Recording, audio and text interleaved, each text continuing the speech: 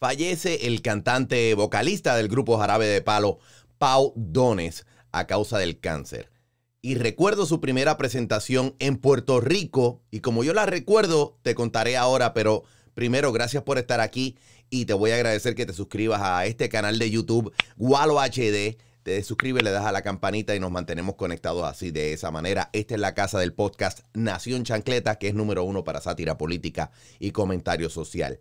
Pau Dones, vocalista de Jarabe de Palo, el grupo de rock español, eh, fallece a los 53 años de edad. Así eh, estoy leyendo lo del CNN en español y dice que a consecuencia del cáncer que padecía desde el 2015, así lo confirmó el grupo de rock Jarabe de Palo y la familia Dones eh, comunica que Pau ha fallecido el 9 de junio a consecuencia de este cáncer, reitero, y que están pidiendo el máximo respeto e intimidad en estos momentos tan difíciles. Y yo recuerdo perfectamente la primera vez que se presentó el grupo eh, Jarabe de Palo en Puerto Rico. Ya llevaban algunas cuantas semanas sonando en la radio, específicamente en Cosmos 94, tu emisora radioactiva, en esa etapa en donde yo era disc jockey, y sonaba la canción La Flaca la flaca, la flaca. Todavía nadie le, había puesto necesariamente un visual a cómo era el grupo, cómo lucían, este, ni siquiera exactamente cómo se llamaban,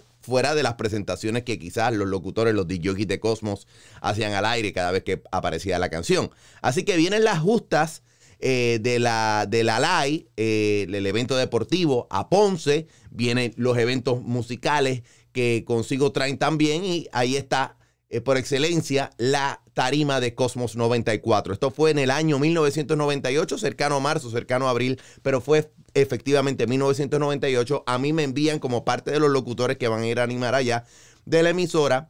Y ese día, eh, pues está Jarabe de Palo de los primeros actos. Si no fue el primero, fue de los primeros actos que se estaban presentando en la tarima de Cosmos. Y ellos comienzan, había un público, ustedes saben que eso es gratuito, eso es abierto, que van miles de personas. Eh, y em, ellos empiezan a tocar. Y la primera canción nadie la conoce. Y empiezan a buchearlos y a pedirle que se bajaran de la tarima. Segunda canción, lo mismo. Empiezan a buchearlos. Bájate. Nadie sabía quién era Jarabe de Palo. Hasta que entonces comienzan a cantar la canción que estaba en la radio. La que estaba pegada. Inclusive más pegada que lo que nosotros nos imaginábamos. Empiezan a, a tocar la flaca. Por un beso de la flaca yo daría lo que fuera. Y la gente se envolvió y empezaron, se tranquilizaron, empezaron como a dejarse llevar por la música, aplaudieron, fue la única canción que yo recuerdo que aplaudieron. Y acto seguido ellos como que también bajaron un poco la tensión y cantaron su última canción que no fue La Flaca y volvió el público a buchearlo y a pedirle que se bajaran. Así que ni con La Flaca se apaciguaron.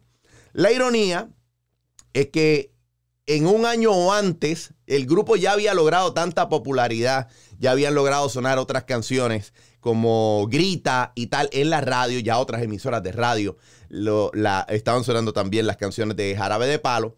Y entonces llega el momento donde los aclaman y los promotores en Puerto Rico deciden traerlo al Coliseo Roberto Clemente a un concierto que ahí entonces es pagado.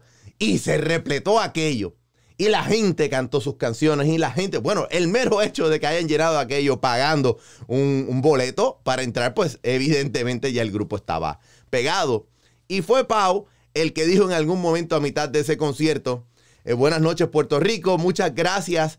Pensar que la primera vez que vinimos a Puerto Rico fue gratuitamente para que miles de personas nos vieran y nos abuchearon y nos pidieron que nos bajáramos del escenario. Sin embargo, hoy están pagando para vernos cantar Muchas gracias Puerto Rico. Y todo aquello se cayó en aplausos, en risas, en celebración. Un momento muy especial para todos los que estuvieron ahí. Eh, Pau Dones, del grupo Jarabe de Palo. Muchas gracias por la música. Un aplauso póstumo como se despiden a los grandes en el mundo del espectáculo. Eh, el espectáculo tiene que continuar. Eh, y un poco de consuelo para todos sus familiares y a los fanáticos del grupo. Que paz descanse, Pau Dones.